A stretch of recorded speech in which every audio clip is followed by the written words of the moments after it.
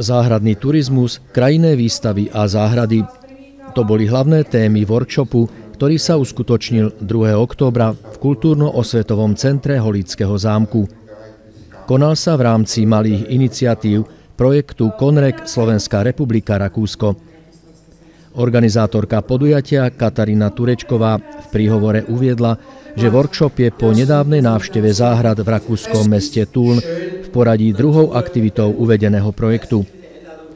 Záhrady v tomto dolnorakúskom okresnom meste, ktoré sú veľkým lákadlom aj pre zahraničných návštevníkov, približil v príspevku ich riaditeľ Franz Gruber. O budúcnosti a ďalšej obnove zámockých záhrad v Holíči porozprával Přemysl Krejčiřík zo spoločnosti Průvodce parkem Valtice, ktorého príspevok doplnil pútavý dokument.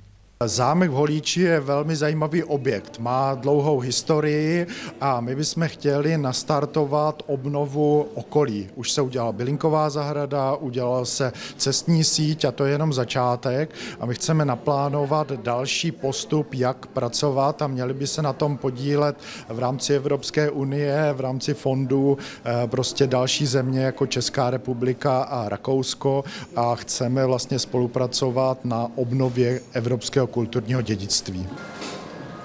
Takže to je animace, jak to tady vlastně vypadalo v roce 1800. Tak to je animace, wie es im Jahr 1800 aussah.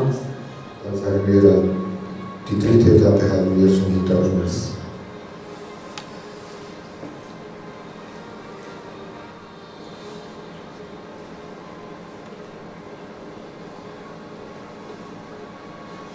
Takže to je pohled na tou bylinkovou zahradou, vysazený sad.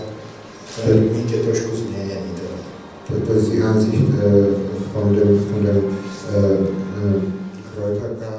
Eh, My zatím hledáme cestu, víme, jak by ty zahrady měly vypadat, protože máme historické průzkumy a chtěli bychom je obnovit do toho stavu, jaký byl tehdy, aspoň v rámcově. A do toho se musí dát nové funkce. Ty nové funkce by měly být výstavní a mělo by to být zázemí pro zahradnické výstavy. A to si myslím, že je možná cesta, která je v Německu nebo v Rakousku běžná a chtěli bychom to uskutečnit jako pilotní projekt tady na Slovensku. V ďalšom programe workshopu zazneli príspevky predstaviteľa Flory Olomouc Stanislava Fleka i autorizovanej architektky Anny Dobruckej. Elena Horanová z odboru stratégie cezhraničnej spolupráce Trnavského samozprávneho kraja bližšie oboznámila s projektom Konrek, ktorý je zameraný na spoluprácu samozpráv Slovenskej republiky a Rakúska v oblasti záhradného turizmu.